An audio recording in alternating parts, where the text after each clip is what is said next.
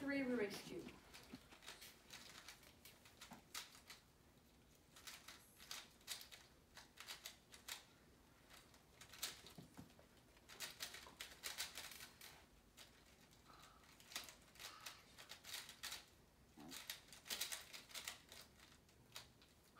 Whoa, magic. How did I do that so fast? Let's start from the beginning. Over the years, I've had many different interests and passions, and they have taken many different forms, such as collecting toys, playing sports and instruments, and studying sciences. However, the one that has so far lasted the longest is cubing. Cubing, or speed cubing, is the act of solving the Rubik's Cube and many variations of it as fast as possible.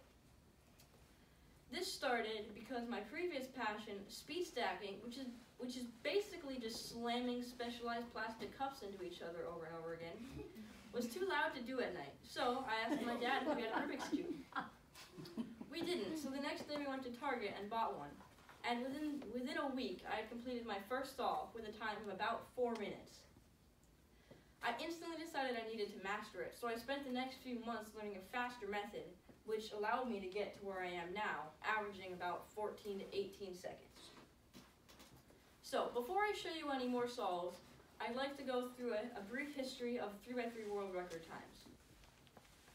The first Rubik's Cube World Championships were held in 1982 and won by Minh Thai with a time of 22.95 seconds.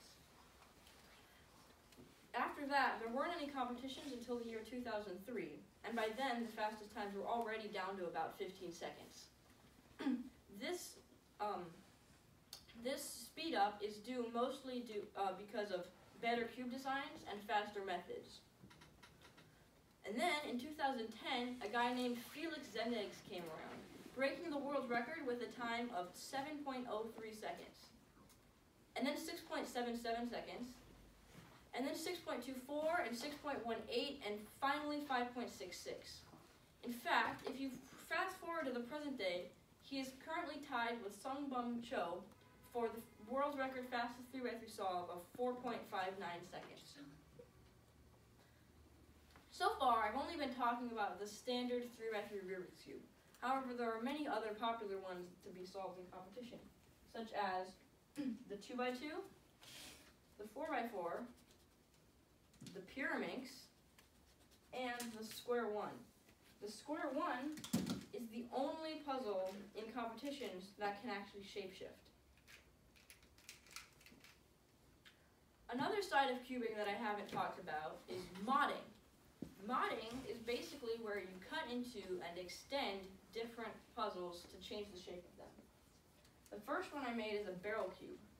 You do this by cutting the corners of a normal 3x3 off and then filling it in with a, kind, with a kind of putty.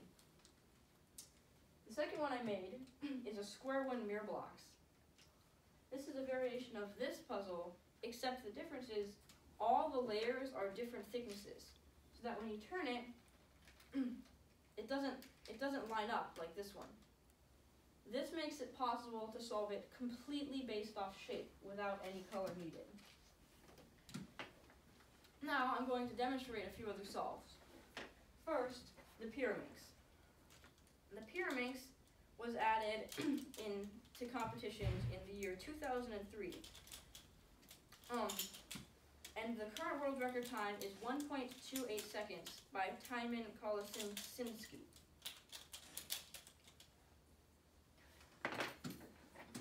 Next, 3x3 with one hand. so, 3x3 one-handed is one of the many 3x3 side events that are held in competition. The others being 3x3 with feet, 3x3 blindfolded, and 3x3 fewest moves. The world record time for solving the 3x3 with one hand is around 6 seconds. The world record time for solving a 3x3 with your feet is about 16 seconds. And the world record time for solving a 3x3 blindfolded is about uh, 18 seconds, including the time it took to memorize the cube. The smallest, the fewest amount of moves that people have been able to solve it in is 19 seconds. which is interesting because it's actually been mathematically proven that some scrambles require 20 moves to be solved. So at this point, it's kind of down to luck. One of the most fun parts of cubing is the community. If you go to a competition, rather than competing against the other people, it's more like competing against yourself to get a new personal best time. And while you're not competing, you usually just sit around at, ta- at tables uh, trying each other's cubes, talking about your personal best times, and doing random challenges like solving a giant 3x3 with one hand in under 45 seconds. So, that is a brief taste of the world of cubing. With enough practice and persistence, all of you could learn you all of you could learn how to solve the cube. I encourage you to give it a try and will leave you, leave you with a resource sheet. Thank you.